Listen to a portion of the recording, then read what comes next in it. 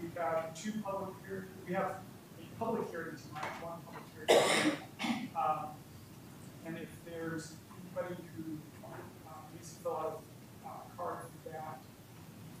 I don't see anybody. else. Okay. Um, Okay. So, um, next up is the, uh, is community communications on the consent agenda, and Ms. Kimberly Elmont from the center.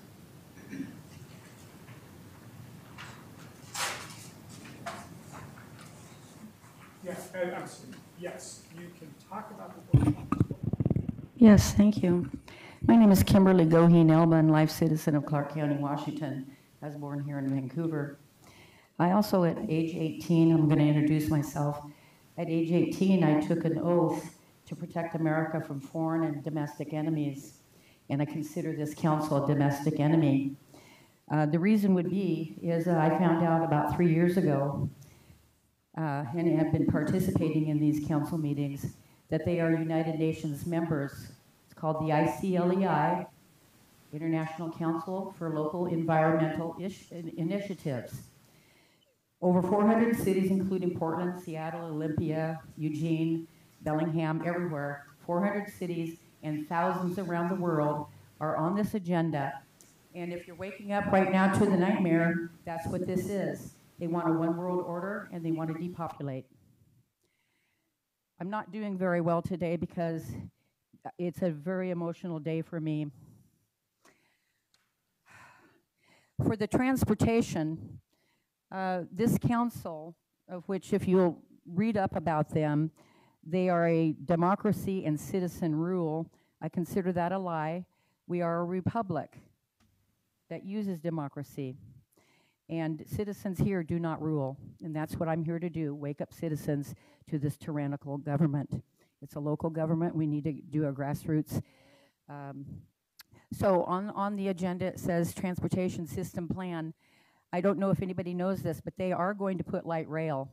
And most of these people here probably want it. I think most of you here now um, actually serve the city or are affiliated with it using my hard earned tax dollars. And I resent that also. This council has a, uh, has an obligation to the Constitution, but when you follow the United Nations, if you know anything about our history, they do not. They do not follow the Constitution and are using our hard earned tax money to bring about that light rail. And um, they had a community forum here. They have it every three months. That only started here about a year ago because of their socialist and Marxist plan they now have you get to go every uh, three months to a roundtable, and that's supposed to be your community forum. Uh, up to a year ago, we had public community forum here at least once a month, and they put that, uh, they took it away. And in their writings here, they took it away for reasons of their own, not for facts. They say that people were going to their houses and um, causing trouble, and they wanted to have safety for people. Well, wouldn't a Marxist uh, government say that? Wouldn't they put people down like me that speak up? On October 24th of last year, at the last 10 minutes of their Vancouver City Council meeting, they had a police officer escort Thank me you, out. Ms. Elbon. Appreciate your coming to visit us this evening. Your three minutes is up. Thank you. And uh, this amazing thing happened when we started doing community forums. We like more than tripled, quadrupled, five times the number of people have been participating. So um, the community is getting many more opportunities to uh, interact with its council. Um, and I, I Ms. Elbon, I appreciate you coming. Um, when I was a child, um, my father preached the same things that you did, exact same things. I was reading about them in a publication called the Spotlight magazine by the time I was eight. One of the first things I read, learned to read. Um, if you talk to my half siblings who are 20 some years older than me, my father was saying the same things then.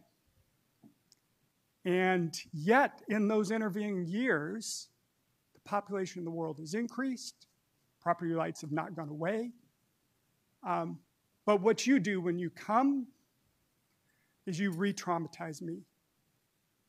And the hurt that my father placed upon me, my siblings, I was able to move on from that, stop hating the world, stop hating people. Um, but every time you come, you do re traumatize me. Damn! Thank you. Um, it is time to, Miss Elbon, your time is done. It is time now for the